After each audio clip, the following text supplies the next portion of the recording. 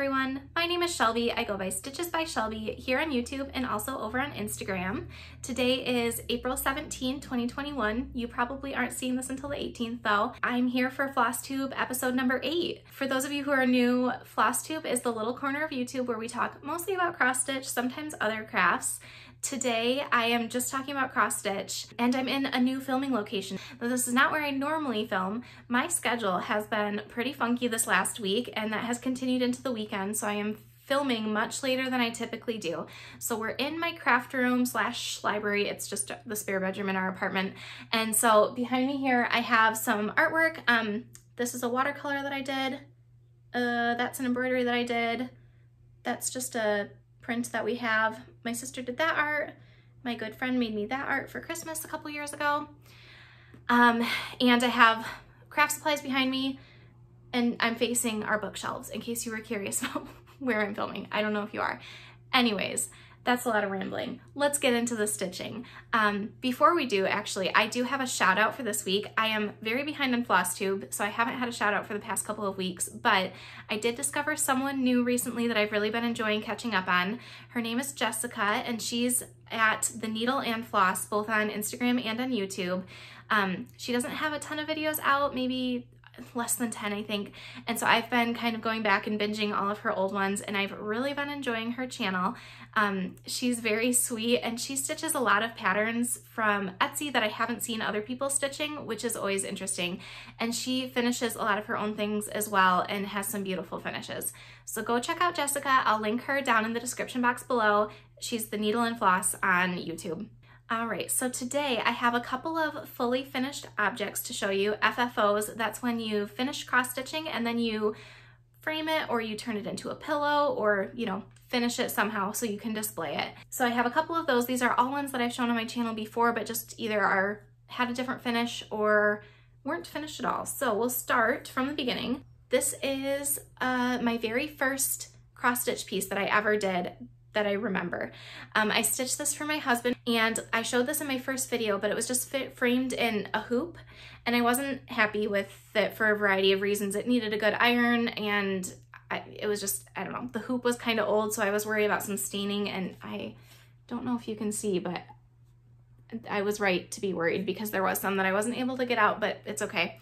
Um, I just found this pattern from an image on Pinterest literally five years ago. I don't think I could find it again. And I used floss and fabric from my mom's cross stitch stash. So I don't know anything about that either. It's on an Aida. I'm pretty sure it's a 14 count. And yeah, so I had it framed in a hoop and I wanted something a little bit different. So I got this circle frame from Amazon, which I can link down below. Um, I believe it's a six inch frame. That's my refinish of this. Next one is one of my husband's cross stitches. I showed this a couple videos ago as well. He made this for me. Um, it says, I wish I was an octopus so I had more hands to touch your butt. And he self-drafted this pattern. This is a blue Aida from one of the big box craft stores, maybe Joann's. And then he just found a little image, like a pixel art image of an octopus that he put there and I don't even know if he had a pattern for the font, but he made this for me and I really like it and I hadn't finished it yet. So I bought another one of those same circle frames from Amazon. This is the eight inch one and I stuck this one on some sticky board because he's not always great about tucking in his tails. So this helps with that issue. And now it's finished. I'm gonna hang it up maybe on this wall, maybe in our bedroom. I don't know, we'll see. My last FFO for this week is Chester's Place by the Whistle Stop Stitcher. I showed this finish in my last video and then I was able to find a frame for it. So um, really quickly, this is stitched on 32 count vintage smoky white linen um, and I used my own thread conversion for most of it. Most of it's sulky threads. I will list my conversion in the description box below. And then I found this frame from Joann's it's a 12 by 12 frame, um, and I think it fits the piece really nicely. I Overall, I'm happy with it. My only nitpick on it is that, I don't know if you can even see, yeah, this frame is like slanted inwards. So I really like the wood color and I actually really like the dimension that the frame adds to it. However, at certain angles, it makes it look like it isn't centered perfectly, even though it actually is because the frame kind of like cuts in a little bit. So when you get like the shadows and stuff, sometimes it makes it look like it's not perfectly centered. Um, for the time being, I think I'm gonna leave it because I, I like the frame overall. And so I think this is gonna go out next to the map in above my couch where I normally film. So I guess you'll see if I decide to find a different frame for it. But for now, I'm gonna leave it. I've been looking at it for about a week and I think I can live with it. I, I just think the wood tone is so perfect for this that, and I couldn't really, I was having a hard time finding a different frame, so we're leaving it for now. Now I'll show you my new starts. The first one is Kristín, the Arctic Ocean Mermaid by Meridian Designs, and here is the cover image. I showed this in my Needlework Expo haul last video, and I said I was gonna start her like ASAP, and Julie from Kansas City Girl in the Colorado World also really wanted to start her. So we are doing an ongoing stitch along. Um, Karen, the designer behind Meridian Designs, has said that there's gonna be more mermaids in the series, so this will be a sal for all of them. Um, Kristín is the first one, and the hashtag is mermaids are real sal. And the reason for that hashtag is that this mermaid is a little bit heavier than a lot of the mermaids that you would see in Mirabilia designs and stuff. And I just absolutely love that representation both in her skin color and in her body type. If you think about it, if there if mermaids actually existed, they probably would not be super thin if you think about other aquatic mammals like whales and dolphins and beluga whales, you know, any of those manatees, they got some fat on them because they got to stay warm in the water. So anyways, mermaids are real, Sal, S-A-L. I'll put it in the description box down below. So if you want to stitch um, these mermaids at any point in time, feel free to jump in. I've just started the other day and I'm really enjoying it here is where I am at. All right, so this is the top of her tail and I'm just starting on her skin. So like this is the bottom of her stomach. Um, I am stitching this with all the called for threads and I don't know if you can see, I've done some of the Kreinik already and it looks like she has like shimmery scales. All the called for threads and then I dyed this fabric myself. This is a 32 count Lugana and I just went on the Rit Dye website. I look, they have a ton of different color recipes on there. So I found one that I wanted. This is the lavender honey recipe and I, yeah, I followed kind of a combination of the Priscilla and Chelsea tutorial and the Stitching Book Club dye tutorial and I'll link both those things down below. Um, and I just wanted a really light modeling, which is coming across really nicely on camera, I think. And um, I think it plays off really well with the purples in her tail. And I think it'll play really nicely with the darker purples um, as we get further down in her tail. But just a couple of days work on this. Like I said, not a lot of stitching time this past week. So that's where I'm at. But I love her. And she has a lot of beads and stuff too, so I'm excited. Um, I think she's gonna be stunning. Just a little side note about that pattern too. The designer announced the other day that there are some issues with the pattern. Uh, some of the symbols, when the file was transferred into a PDF, got changed so the key doesn't match up with what's on the pattern so she has released a corrected key which I think is available on her website so if you are stitching that and you have you bought it from Needlework Expo go check that out because some of the symbols aren't on that are on the pattern aren't on the key that was included with the chart my next start is not as exciting. Um, it's just my Halloween ornament. If you've been following along with me since the beginning, you know that this year I am trying to stitch a Halloween ornament and start it on the 13th of every month. So on April 13th, I started this ornament here. This pattern is Haunted by Luminous Fiber Arts. I haven't stitched anything else on this pattern yet, although I do plan to stitch all of it because I think that this is super cute as well. But I thought that this little ornament with the little cat and the little ghosty was just so cute. And I only worked one day on this, just enough to say I started it. and I just did the border. Um, this is 18 count antique white Aida. And yeah, I just did the black border and I'll get back to this at some point, but that's that. Now we're moving on to whips that I had before. So next is Floss Tube Friends by October House Fiber Arts. I am also doing this as a sal with Beth from the Desert Stitcher and Abby from Topknot Stitcher, although I don't think Abby started hers yet, so Abby started. Um, so anyways, everything's a sal this week. and here is where I am at. So last time you saw it, I had done, I think some of the border, maybe not this bottom part. I think I'd done this border and then I was working on the girl's dress. Uh, so I finished out this first girl and I stitched the rest of this bottom border and started on the Floss Tube Friends words and then started the next person. Um, I am doing a DMC conversion. Um, some of them are what's called for as a suggested substitution in the pattern. So far, I have changed one. This little flower right here was supposed to be 349 and I changed it to 335 because I thought that that better represented the fancy floss that's shown on the cover image. Um, I'm stitching this on a 25 count Lugana, one thread over one strand of linen. Um, so one over one, and this was an antique white piece that I flash dyed in like a coffee tea mixture. I literally just put it in there for like a minute and then I still thought it was too dark, so I rinsed it. I just really wanted like this creamy color. So I think that turned out well. And I am putting this away for the time being. I wanted to get some more progress on the mermaid and I will be starting something else at the end of the month and then next month is Mania. So I don't know when this one will come out again, but it's a fun stitch and it's going a lot faster than I thought it was going to. Um, this is a pretty big pattern. It's like 140 by 300 something, but it's, it's going really fast. It's not taking nearly as long as I thought it was going to. So there is Floss Tube Friends by October House Fiber Arts. And the hashtag for that is Floss Tube Friends Sal. So if you want to join in, you can just use that hashtag. I did message Robin, the designer, and she said that uh, for international friends who are interested in purchasing a PDF, that the PDF will be available at some point, but it's going to be a few months. So if you are holding out for the PDF, um, it will be coming at some point, but I have a feeling that this sal is going to be going on for a while because like I said, it's a bigger pattern. So hopefully you can still jump in later. The next project is also one that hasn't made an appearance in quite a while. Um, I think since my first video.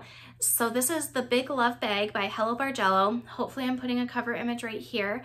Um, I had finished one part of this and then had put it away and not really picked it back up. So I pulled it out again and I put a couple of days of work into it. So I started, I've already done one side of the bag. So hopefully on the cover picture you saw, there's like two bigger sides, two smaller sides and then the bottom and then I have to assemble it. So I had already done one complete side and I started the second side. Um, so I did all this outline and filled in some of the purple. And I think this is stitched on 10 count plastic canvas. I'm not sure. I just got the kit, so I don't have all the details. And then it's stitched using DMC tapestry wool. And I just bought the kit, so everything came with it. And I am really enjoying this. Um, it goes pretty quickly and it's a little bit of a break. It's nice because you can really get into like a groove with it because it's just like a repeating pattern. So once you kind of know what color you're doing, then you can go fill in all the different sections. And yeah, I was kind of thinking that this, I was gonna try to make this a finish this month. I, I don't think there's any way that's gonna happen at this point, but I put three days of work into it, so that counts for something. Okay, next up is Moonlit Night by Mill Hill. This was my Halloween ornament that I started last month. And there is where I am at. Oh, sorry, that's not coming across very well in the color. Um, it's basically light purple on top and then dark purple in the middle. And it's stitched on 14 count black perforated paper. Uh, this just all came in the kit. Last time I showed this, I've been working very slowly on this. Um, and so I think I just filled in some more of the darker purple, but it doesn't really look like anything yet. And then my last whip is Winter's Lace by Dimensions. Um, I've been working on this one for quite a while and I had said in a few videos that I was hoping that this was gonna be a finish next month for Mania. I was gonna make, I'm doing Stitch Sania, which I'll talk about in the plans portion in just a minute. But um, I was hoping that this was gonna be a finish and I put a lot of work into this the past couple weeks, so I'll be able to show you that but it has made me realize that I don't know if a finish is going to be realistic, so I'm kind of reevaluating my mania goal for this. So here's where we're at. And last time I showed this, I'm going to fold it in half. All right, so last time I showed this, it, two weeks ago, I was working on this tree right here. I don't think I said, this is the project that I usually put like one or two strands of floss in a day, and I've been working on it since July of 2019, so it's time for it to be done. Um, but the past couple weeks, I there was a few days where I just only stitched on this. So I did a lot of work on this. Um, and so I was working on this tree. I don't think I, I think I had just done some of this brown out here. I don't think I'd finished filling in the wolf here. Um, so as you can see, I did a lot. I stitched all the way over here. This is mostly completely filled, filled in. I filled out the wolf down here. I moved down here a little bit more. Um, but I still have, like this will go, I mean, you can see it's only about a two inch border. So it'll, I still have to go like all the way over here and then all the way down. I haven't done anything on the bottom part of that yet. So, and then there's a bunch of back stitching as well. So I don't know if this is gonna be a realistic finish for Mania, but I am getting a ton of progress in on it and hopefully it will be a finish shortly. It's a gift for someone and I would just really like to give it to them and have it off of my whip pile since it's been on there for so long. But I'm really in, actually enjoying working on this. There's a lot of tent stitches um, and some fabric or thread blends and stuff. This is just all kit fabric and floss. Uh, it's a 16 count Dove Gray Aida. Um, so yeah, I have been enjoying working on this, uh, but I still have a good ways to go. And I think I've overestimated my abilities for what I can accomplish in a month. All right, so now we can move on to plans. So my first plan, I guess, is April 27, it's a Tuesday, is my birthday. And I bought this Owl Forest embroidery kit by Yoon Cat to start on my birthday. So this comes with the fabric and all of their hand-dyed flosses. Um, it is just beautiful. Really quick, here's the flosses. Sorry, they're in a bag. I'm not gonna take them out. Um, and I'm so excited to start it. And Abby from Topknot Stitcher has this kit as well and said that she might be willing to start it on my birthday with me. Um, no pressure, Abby, if you don't want to. But so I would just like to invite anyone else who that week weekend before, let's say the 25th through the end of the month, if you want to start a cross stitch project in honor of my birthday just because you need an excuse to start something that you've really been wanting to, please do so. I've decided not to do a formal hashtag for it, but I would love it if you end up starting something during my, my birthday week. if you would tag me on Instagram or send me a picture of it over email, um, my email will be listed down below or just let me know in the comments of this video what you're planning on starting or what you're gonna start. I know sometimes I have to like give myself special occasions to start things. If you need an excuse to start a project that you've really been wanting to, now you have it. So April 25th onwards, yeah, if you wanted to start something new, that would be awesome. I will be starting this kit. Maybe Abby from Topknot Stitcher will be starting this. Um, but yeah, feel free to join in and please do tag me or send me a message or whatever and let me know that you're participating. So then after the end of April is Mania. And so for those of you who are newer to the cross stitch community, I haven't been here that long either, so this is my understanding, so I might have some of the details wrong. I believe that Mania started off as a Facebook group, I want to say in 2015 because I think they tried to start, the goal of the group was to start 15 projects in the month of May because it was 2015 that could be wrong. I believe the Facebook group is closing down after this Mania, so this will be like the last official Mania. I'm sure that other Mania events will still continue because Stitch Mania has kind of turned into its own thing. But since then, people have kind of really ramped it up and some people try to start like a project every other day or 31 projects in May, like a project every day. That is overwhelming to me. I don't like having that many projects. So Lindy Stitches talked last year in a video, which I will try to find and link if I can. Um, she did a version of Mania called Stitch Sania, where basically during the week she worked on a big project. I think she's actually done it two years in a row now. Anyways, during the week she worked on a big project that she was hoping to make a lot of progress on and set weekly goals for herself. And then if she accomplished that goal, on the weekends, she could start a new project. So instead of like 15 to 31 new starts, you end up with four or five new starts, I guess, depending on how you want to play your weekends. That sounds really a lot more manageable to me. And I do have some bigger projects that I'd really like to make a lot of progress on. So like I just mentioned, I think that finishing the wolf in May is probably not gonna happen. Just seeing, you know, knowing how much work I put into it over the past two weeks and seeing how far I got, I'm not sure that I can get to a place by the end of this month where I could break up the what's left into weekly goals to finish it. I still think I want to I want to make that my focus project. So I think what my new goal is going to be is just to only work on that during the week. Um, during like the Monday through Friday, I'm working on the wolf if I'm stitching. And so I will put on hold my uh, starting a Halloween ornament for next month and which is fine because I still have two that I haven't finished. And yeah, so that's kind of my plan. So hopefully working monogamously on that during the week, I will get a lot of progress in. And then I can pretty much guarantee that I'll get my new starts on the weekends because I don't really have like a stitch count goal or anything. It's just if I'm stitching, I should be working on that. And that kind of gives a little bit more wiggle room if my schedule changes, if I end up being a little bit busier than I think I'm gonna be.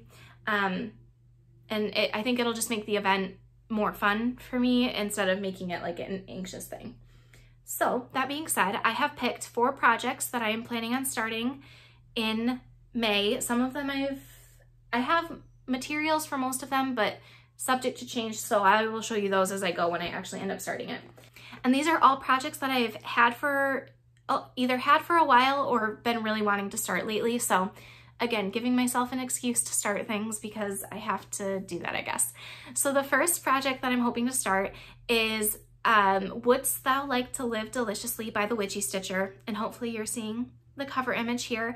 Um, this is a movie, a quote from the movie The Witch, uh, which was directed by Ari Aster. It came out a couple years ago. Uh, I've mentioned before that I'm a big horror movie fan, and I saw this and I was like, yes, like I just love the aesthetic. The It's mostly monochromatic with like some red. I'm going to stitch it on a cream colored Lugana. Um, and I'm really excited to start it. I've been wanting to start it for a long time. I even put it in my March Madness bracket, hope, hoping that that could maybe be something that got voted for enough for me to start it, but it didn't. So it's going to be a mania start. Um, and it's just all stitched in DMC, so it'll be super easy to kit up. And it's not terribly big either. It's like I don't know, it's not terribly big. So that's the first project. It's Wouldst Thou Like to Live Deliciously by the Witchy Stitcher. So I'm very excited about that. The second project that I'm hoping to start for Stitch Mania, Stitch Sania, whatever we're calling it, is Taken by the Wind by Hello Bargello. And that's actually why I pulled out my other Bargello project because I was hoping to like finish that one and then I wouldn't have two ongoing, but I don't think that's gonna happen. It's fine. So the original pattern is charted with like pinks and blues and it's really a beautiful sunset. Um, but I decided to do it in shades of like yellow, gold, and gray. So I'm gonna do the yellow gold on the upper part and then the gray on the bottom part. And this is just DMC tapestry wool. If you're interested in the colors I'm using, let me know. But this shouldn't be a terribly big project. Um, it's on 12 count needlepoint canvas and I actually plan to finish it exactly as it's shown in the picture. I have that frame and so I'm really excited to stitch it and put it in a hoop and frame it that way. All right, the third project that I'm hoping to start is Tiny Treetops by Blackbird Designs. This is in their book Sewing Club. Um, I first saw this on Elizabeth Ann Kin Stitches channel and was basically immediately obsessed and had to go buy it, buy the book. Um, I love this little bird in the basket. I think that's why I'm so drawn to it. But actually the colors in general, I think are just really beautiful. And I've been on a big sampler kick lately. So I've bought a lot of them. I haven't stitched a lot of them. So we're gonna change that. So yeah, so this will be week three and I will just be doing the DMC conversion. I pulled the threads and I think that most of them will work fine. Um, I haven't officially decided on the fabric I'm going to do yet. I have a 32 count Queen Anne's Lace Jobelan that I think will work really well. It's got kind of like some grays and greens and creams. It's a very neutral fabric, but I think it'll work really well with that pattern. So that's week three. And then week four, I haven't officially, officially decided on. What I'm leaning towards right now is The Bugs um, by Bent Creek. I am participating in the Traveling Humbug. I don't know if it's a, if you can call it a sale, but basically this chart is out of print. And so a few people had it and have been stitching it and then passing it on to another stitcher. So that's why it's called the Traveling Humbug. Um, so this little guy right here is the one that we're stitching and he's just really small. So he'd be a quick stitch. I got my copy from Carrie at DNA Geek Crafts. Uh, and she has a floss tube, so you should go check her out. And I've had it for a little while now, and I feel like I want to stitch it. So this would be a really small, manageable project. I do have a few other projects that I'm kind of like still tossing around, deciding if I want to stitch them or not, but uh, or start them or not um, for Mania, but I'm kind of leaning towards this. And then I just have like this 32 count wheat, or oh, sorry, it's a 28 count wheat, um, even weave that I got in like a little grab bag. So I think that would work well for that piece. So yeah, that's what I'm thinking right now. Um, and those aren't set in a particular order either. I know I said like week one, week two, week three, but I'll just pick randomly from whatever I feel like starting. And then I won't start anything for a long time because I've started a lot of things recently. So those are my mania, Sania plans. Until then, in the next couple weeks, until my birthday start, I will just keep working on probably the mermaid and the wolves and seeing how much progress I can get on those two projects and maybe working on the Halloween ornaments a little bit more because I'd like to get a little bit more progress on those because I just haven't been putting a lot of time into them recently. They'll be really quick stitches once I finish them, but or once I start working on them, but uh, yeah, you have to work on them to finish them. All right, so that is all the stitching I have for this week. I am gonna do a quick book talk, but if you were just here for the stitching, that's totally fine. I'll say goodbye now. Thank you so much for watching. If you liked this video, uh, go ahead and give it a thumbs up, or better yet, leave me a comment. I love chatting with everyone in the comments. Um, if you liked me, you could subscribe. That'd be really awesome, and it makes me super happy. If you are interested in the book chat, here we go um, there's a theme to, to this book chat. So my first book that I've read in the past couple weeks that I wanted to talk about is The Lady's Guide to Celestial Mechanics by Olivia Waite. This is a historical female-female romance and I really liked it. I'm not typically a historical romance reader, but ever since I watched Bridgerton, I've really been in the mood for that kind of stuff. So I had this book on my shelves and I decided to pick it up and I think that some of you might like it as well because it follows two characters, um, Lucy and Catherine. And Lucy is young a young astronomer. Her father has just passed away and he was very renowned in the scientific field. But near the end of his life, she began performing a lot of the calculations and corresponding for him, but because she's a woman is still not really respected in the field and she responds to a letter from Catherine, who's the older woman whose husband was also an astronomer, but he has passed away as well. And she is trying to find, Catherine is trying to find someone to translate this French astronomy text. And so Lucy responds. So she goes to Catherine's house in London and they fall in love. and it follows most of the beats of a traditional historical romance or really any romance book. The reason I think that it is particular interest to people who may be watching this video is that Catherine's hobby is embroidery. And so there's a lot of talk about embroidery and about what she's embroidering. And there's a lot of talk about embroidery as a domestic craft, as a fine art. And there's also a lot of talk about women in science and, you know, it's a historical romance. So women don't always weren't always appreciated in the scientific field and maybe still aren't. Um, but anyways, if you were looking for a historical romance, this was really cute. It was sweet. I really enjoyed it. And it's not too long either. It's under 300 pages, just over 300 pages. So anyways, highly recommend if you're looking for a historical romance. The other book I have to talk to you about is called Honey Girl by Morgan Rogers. And um, this is about a young black queer woman who has just received her PhD in astronomy. Are you seeing the theme here? Um, and she is just kind of trying to find herself since finishing her degree. So the book opens and she has just gone to Vegas to celebrate getting her PhD and she gets drunk married to a girl in Las Vegas, a complete stranger that she does not know. And so then the whole rest of the book kind of follows her trying to find this person and get to know them and also kind of find herself and evaluate what her own goals are in life. And it was, I don't know if I'd classify it as a romance, like the love story is definitely a central theme, but I think it's a lot more about like self-discovery and self-love. And I really enjoyed it. I listened to the audiobook, which was fantastic. And yeah, so if you're looking for a great contemporary uh, coming of age, I guess is what I would consider it, I would recommend Honey Girl by Morgan Rogers. All right, that is all I have for you this week. Uh, don't forget to like, subscribe, follow me on Instagram, all that stuff. I'll have all my things linked down below. All my projects are always listed out, so if you missed something that I said, never fear, it is in the description box. And if it's not, feel free to ask and I will get back to you as soon as I can. I hope you all have a great couple of weeks.